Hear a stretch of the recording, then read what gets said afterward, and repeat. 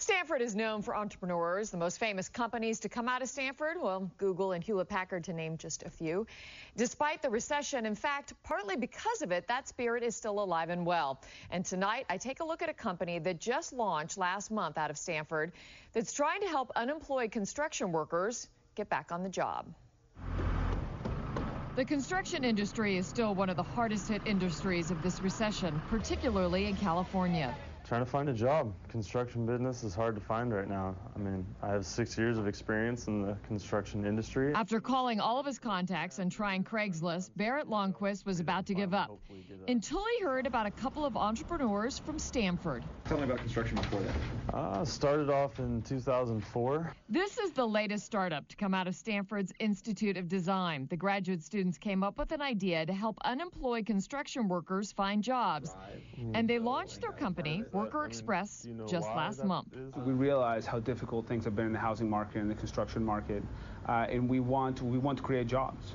We want to be out there giving people an opportunity to build their profile, to show their face, and also an opportunity for contractors to really uh, see in a very transparent manner who they're hiring. So here's how it works. Unemployed construction workers, gardeners, and painters come here to Worker Express in San Francisco, go through a screening process, set their wage, and they're part of the system.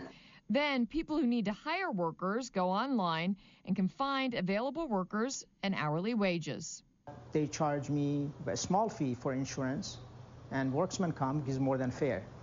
And so I know somebody who's coming here getting 100% what he's promised. He hired Brent Williams, who had just signed up for Worker Express two weeks ago to do some painting. I thought it was too good to be true.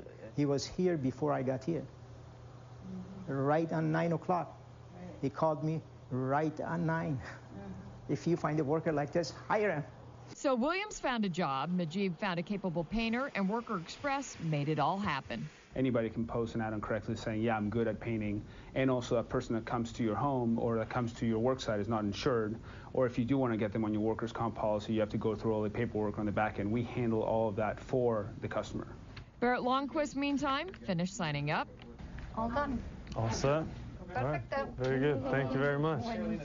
He's hoping someone will want to hire him soon as well. It's all part of getting people back to work in this new economy. If you're interested in getting more information, just go to workerexpress.com. The hourly wages for skilled workers range from 10 to $30.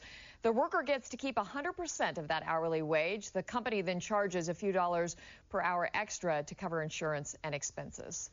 And not to be outdone across the bay, some recent Cal grads are trying to encourage entrepreneurship as well.